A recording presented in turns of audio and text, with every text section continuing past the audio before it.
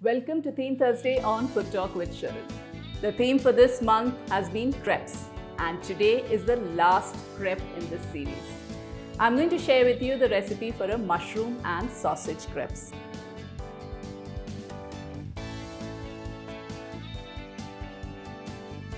Now, if you want to make it vegetarian, just skip the sausages, and you can always add some other veggies along with the mushrooms. So let's quickly check out the recipe.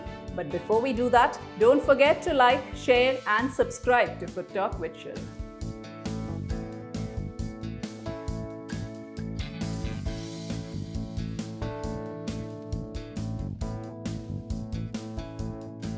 Let's first start with preparing the filling for the crepe. So for this I'm using mushroom and sausages as I had mentioned earlier.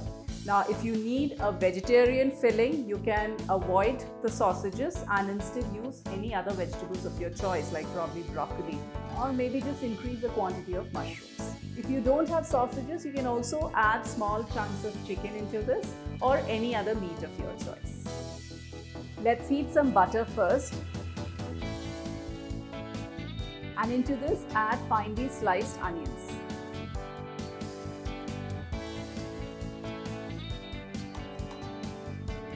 Saute the onions till it's a light golden brown in color. So now that the onions have turned into a golden brown color, I'm adding the sausages. So in case you're adding chicken or any other meat, that also can go in at this stage so that it's cooked a little before you add in the mushrooms. So I prefer stir frying this on high heat and continuously keep stirring it so that it doesn't burn. Next let's add the mushrooms.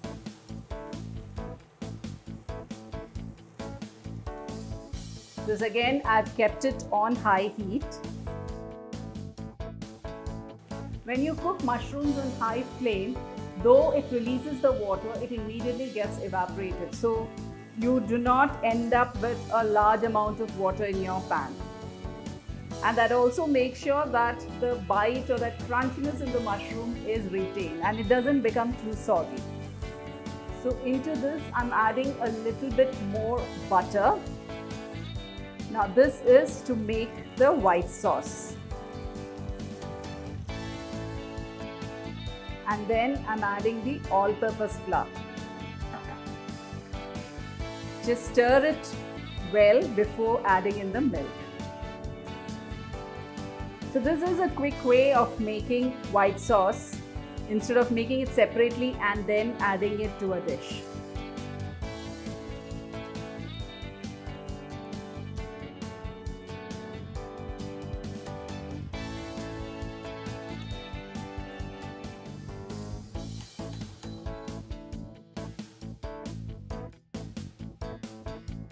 Let's now add in our seasonings. A little bit of salt, some chili flakes, some Italian seasoning and some pepper.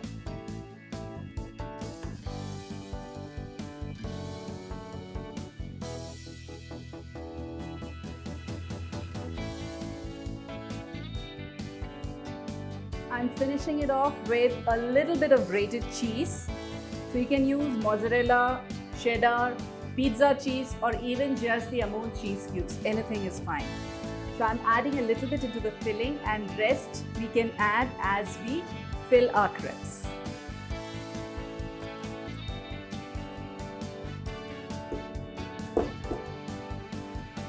So now that our filling has been prepared, let's prepare the batter for the crepe. So for this, we're using two eggs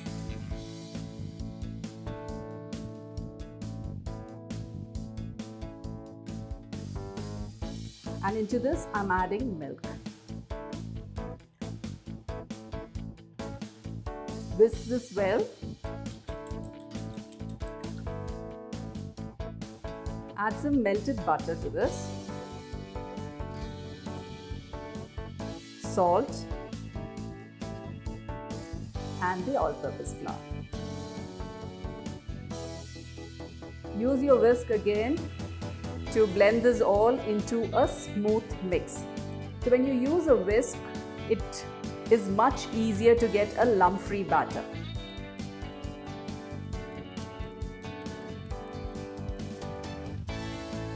So this is the consistency that we need. Now in case it is thicker, you can add a little bit of water and thin it out.